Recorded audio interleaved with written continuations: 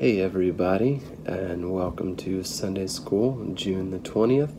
Uh, my name is Jared. I haven't done this. Uh, this is my first week uh, recording the Sunday School lesson, um, so I ask your prayers, patience.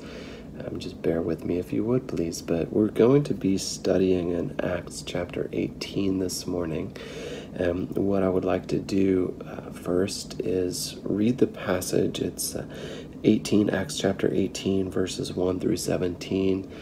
Uh, just in the event that you're watching this and you don't have a, a Bible immediately accessible to you, um, or you've just haven't brought your Bible. So we're going to go ahead and flip over there. And for those of you who do have your Bible, I'm going to give you just a few moments to find that passage again. It's Acts chapter 18, verses 1 through 17.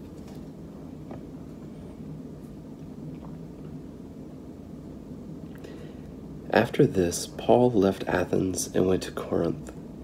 And he found a Jew named Aquila, a native of Pontus, recently come from Italy, with his wife Priscilla, because Claudius had commanded all the Jews to leave Rome.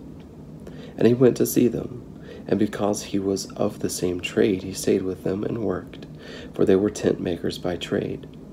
And he reasoned in the synagogue every Sabbath, and tried to persuade Jews and Greeks. When Silas and Timothy arrived from Macedonia, Paul was occupied with the word, testifying to the Jews that Christ was Jesus. And when they opposed and reviled him, he shook out his garments and said to them, Your blood be on your own heads. I am innocent. From now on I will go to the Gentiles. And he left there and went to the house of a man named Titus Justus, a worshipper of God his house was next door to the synagogue. Crispus, the ruler of the synagogue, believed in the Lord, together with his entire household. And many of the Corinthians, hearing Paul, believed and were baptized.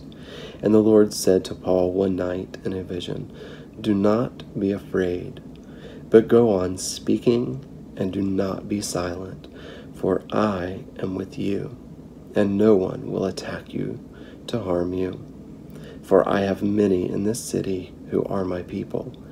And he stayed a year and six months, teaching the word of God among them.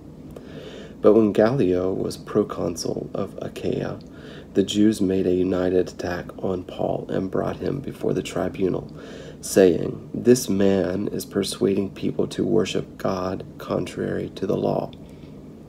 But when Paul was about to open his mouth, Gallio said to the Jews, if it were a matter of wrongdoing or vicious crime, O Jews, I would have reason to accept your complaint. But since it is a matter of questions about words and names and your own law, see to it yourselves. I refuse to be a judge of these things. And he drove them from the tribunal. And they all seized Sosthenes, the ruler of the synagogue, and beat him in front of the tribunal. But Gallio paid no attention to any of this. I'm just going to take a few moments to pray here. So if you would bow your heads for just a few moments. Thank you, Almighty and Alwise God, for another beautiful opportunity to meet you in your holy scripture and in this particular passage. And we would ask that you reveal to us the lessons, the truths that you have prepared for us this morning. And we ask that you give us receptive hearts, receptive minds, and receptive spirits. That we would imbibe every word, every syllable of your gospel this morning and the love that you share with us through your holy word.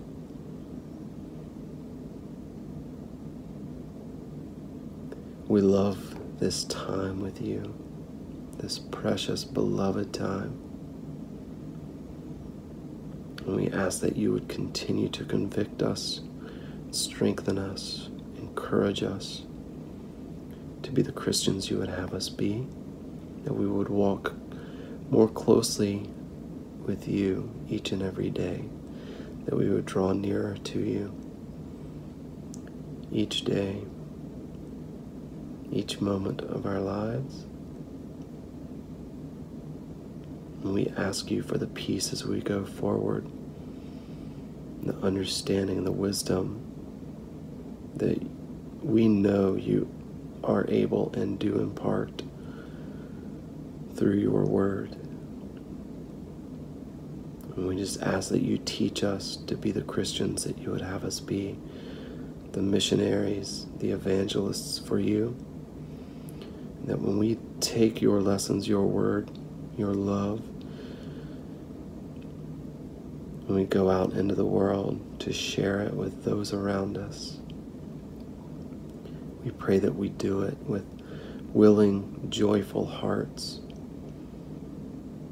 and then we do it for the upbuilding of your kingdom to glorify your holy and blessed Son. And we ask all these things in the name of your beloved Son, Jesus. Amen. First, I'd like to comment on how apropos I think it is that we're studying Paul and his ministry as our church is about to embark on our Alaska mission trip. To be called to the mission field is a great undertaking. Uh, whether it's as a full time, long term missionary, or if you're participating in a singular mission trip. Um, it's not something as Christians that we should take lightly, and certainly shouldn't be a decision made without considerable prayer and consultation with God Almighty. As it pertains to this scripture that we're studying today, I want you to consider here Paul's calling.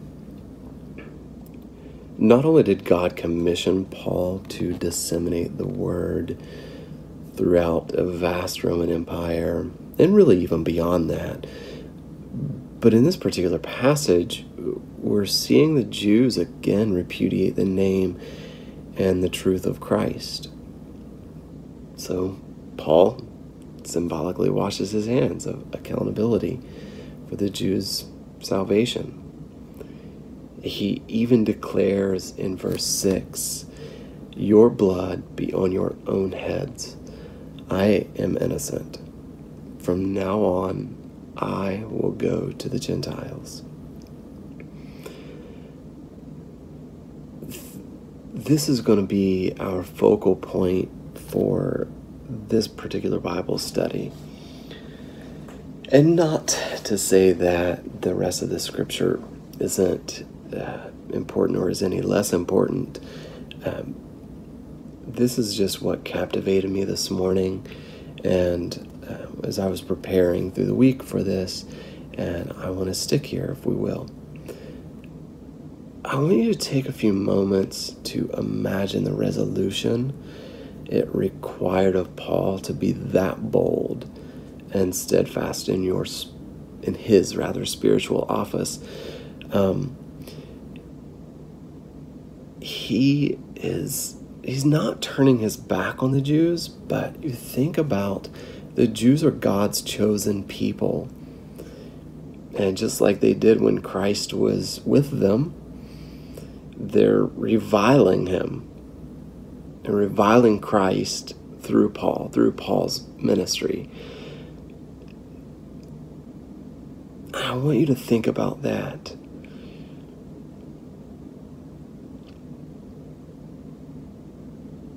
Think about similar moments that you've had as a Christian, witnessing to others affecting an office that you felt sincerely called by God to do. And they don't want to hear it. Paul could have simply retreated. He could have walked away from his responsibility in delivering the gospel but he remained fervent. I want you to notice also that I said he could have simply retreated and not easily. There wasn't anything easy about what Paul was striving to accomplish. And God certainly wouldn't have allowed Paul to easily walk away from his ministry. We all remember Jonah. And now take a few more moments to consider the ramifications of the Jews' callous hearts.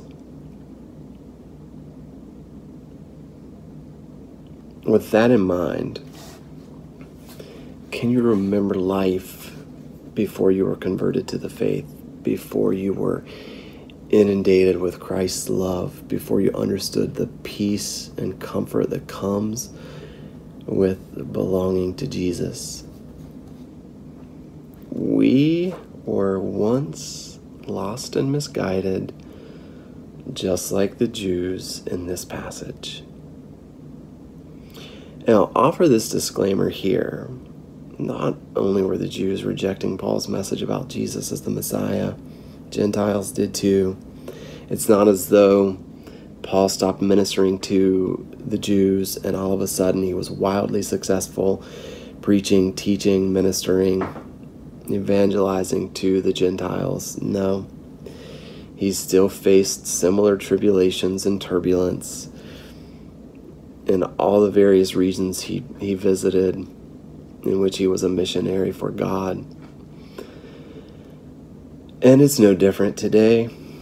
We see conversions across the spectrum in our contemporary world. And sadly, we see people pass on from this life every day that didn't know Jesus They're strangers, their coworkers, they're friends, they're family members. And I don't say that to be discouraging. I realize how discouraging this is just as much as you do, just as Paul did nearly 2,000 years ago. There are times it can feel defeating. Thankfully, we can praise God that you and I are children of a most gracious, merciful, compassionate Lord. And because we belong to Christ, He will continue to encourage and strengthen all of us in our faith, in our trust, and in our hope. He will be the lamp unto our feet and the light unto our path as long as we receive and rely on Him. And most importantly, God will provide us with the opportunities and resources to be fishers of men, just like He did Paul. And when one person or one group of people decide not to listen, He'll open other doors and we'll be called to a different ministry, but with the same ultimate purpose in mind. Remember this none of us are born into this life with the seal of salvation already imprinted.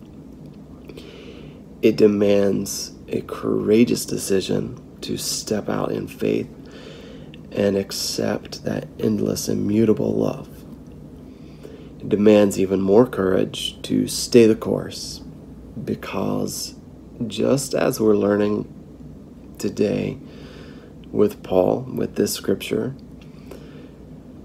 one thing we can guarantee is tribulation throughout our respective journeys. There's no way around that. It's inescapable. But we all know and can take solace in the providence that our Creator, our Protector, our Redeemer freely gives us daily. Finally, to our Alaska mission team, we exhort you to diligence and courage in proclaiming the love of Christ to those that will hear. We pray to God for your perseverance in preaching God's holy word with love, joy, and compassion.